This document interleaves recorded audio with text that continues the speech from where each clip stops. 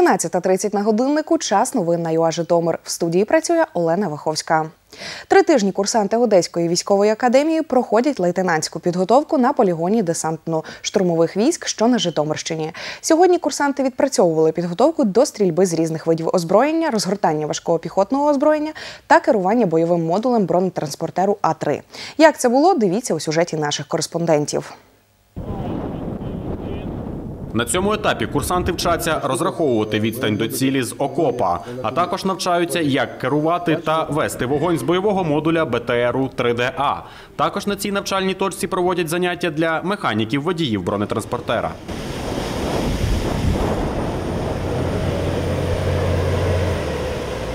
проходив службу у 79-й е, десантно-штурмовій бригаді, е, приймав участь е, в різноманітних боях, в яких приймала бригада, боях, тих я приймав. Тобто бої за Красний Лиман, бої за Донецький аеропорт.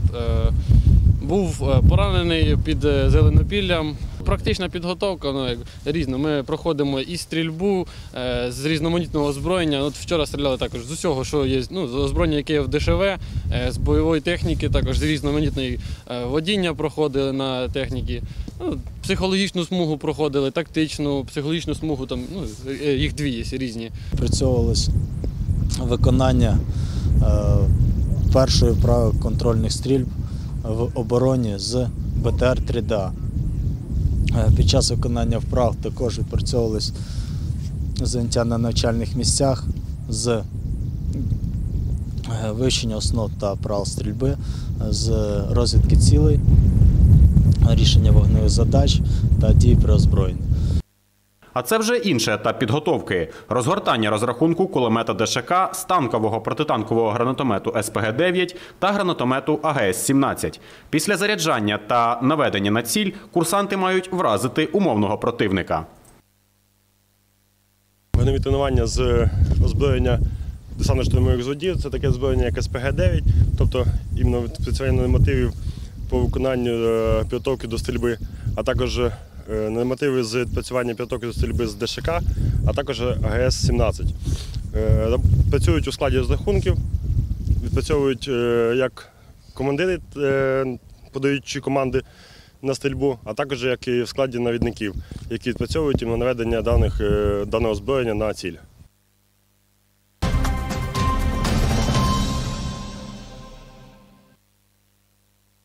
Пенсіонери Житомирщини вже отримують пенсії разом із монетизованими субсидіями у поштових відділеннях.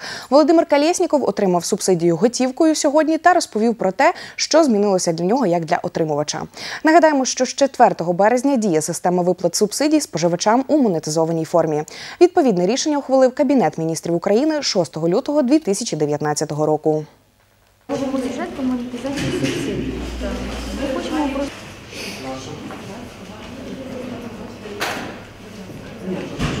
Я отримав пенсію і субсидію. Е, яка була різниця в сумах? Ну я не пам'ятаю, скільки я там отримав е, по квитанціях субсидію. Зараз я отримав субсидію 2600. Це суттєво для вас? Так, да, звісно. Це що, яку можливість вам дасть? Ну, це, я думаю, перекриє більше половину десь платежа за, за комунальні услуги. А зазвичай ви скільки платите комунальні? Е, в прошлому місяці було, було, було півтори тисячі десь. Це з субсидіями. Я я платив 1100 і мені ще дали субсидію, а зараз, мабуть, буде десь так перекриє, може трошки ні. Ну, у мене ще немає квитанції, я точно не знаю. Це зручно вам, що ви отримуєте зараз будете гроші на пенсійний рахунок? Ну, думаю, думаю, поки да. Ще це перший раз я отримав 2600. Як прийдуть квитанції, оплатимо. Думаю, да, я прийшов, отримав зразу 2640.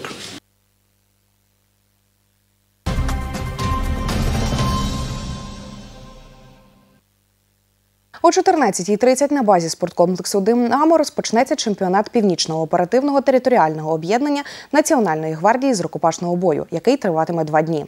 Очікується, що турнір збере представників 10 військових частин. Це близько 80 учасників з п'яти міст України.